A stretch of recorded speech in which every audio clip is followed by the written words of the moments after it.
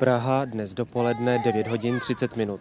Jsme na Ďáblickém sídlišti, abychom se zde stali svědky slavnostního okamžiku, ke kterému Pražané neměli, s jedinou výjimkou, téměř 40 let příležitost. Otevření nového kina.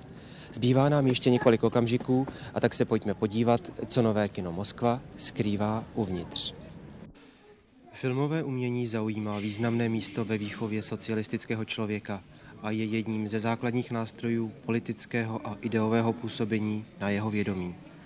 S naplňováním těchto úkolů však úzce souvisí i prostředí, kde k realizaci filmové kultury dochází. Kino. Nové kino Moskva k tomu má ty nejlepší předpoklady. Od ostatních pražských kin jej dělí celá generace a může se pišnit hned celou řadou prvenství. Je prvním pražským dvojkinem, časem přibydou další. Dva kinosály jsou pro 495 a 64 diváků. Oba sály jsou řešeny jako víceúčelová zařízení, to znamená, že umožňují i provozování koncertů, besed a přednášek. Je prvním pražským kinem vybaveným klimatizací. Ve vybavení kabiny byly poprvé použity nové československé polautomatické promítací stroje. Ještě několik čísel. Celkový náklad 19,5 milionu korun. Trvání stavby 3 roky. Obestavěný prostor 12,5 tisíce kubických metrů.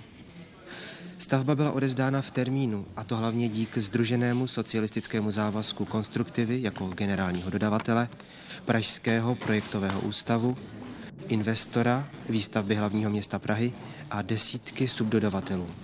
Naše malá prohlídka končí. Výstavba a přestavba pražských kin tvoří důležitou součást rozvoje kulturního života v hlavním městě. Nové ďáblické kino je důstojným příspěvkem do tohoto rozvoje. Ostatně o tom se už můžeme přesvědčit sami. Vítám u příležitosti otevření kina Praze 8 Moskva Ďáblic.